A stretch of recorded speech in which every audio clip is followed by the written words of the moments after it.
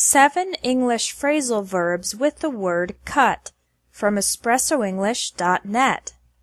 Number 1. Cut across. To go across or through a place, not around it, to make the trip faster. Let's cut across the park on the way home from school. It'll be quicker. Number 2. Cut back on or cut down on.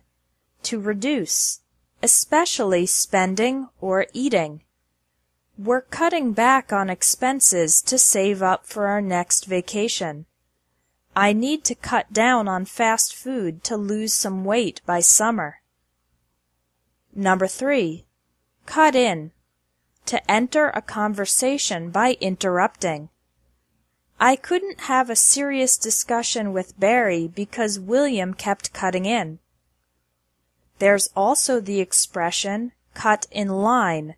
That means to enter a line ahead of other people who have been waiting longer. Number 4. Cut it out. Say this to tell someone to stop doing something annoying. For example, if your kids are running around the house screaming and yelling, you can say, Cut it out! I'm trying to take a nap. Number 5. Cut off. Remove something from something bigger. For example, I cut the tags off my new shirt. Cut off is also used when the telephone disconnects accidentally. For example, we were cut off in the middle of our conversation. Cut off also means to stop the supply of something. Our electricity was cut off after we didn't pay the bill for three months. Cut off can mean to interrupt, often in the middle of a sentence. I tried to explain the problem, but she cut me off and said she didn't want to hear about it.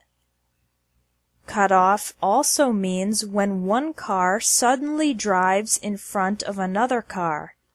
He got angry when another car cut him off on the highway. Cut out.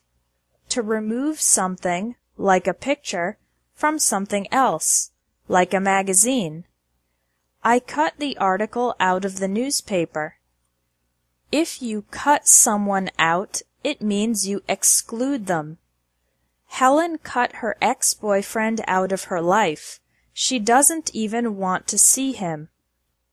Cut out also means when an engine, motor, or machine completely stops. I was terrified when the plane's engine suddenly cut out. Number 7. Cut up. To cut, with scissors or a knife, into small pieces. The teacher cut up the paper into triangles. Thanks for watching English Tips from Espresso English. If you liked this video, please share it.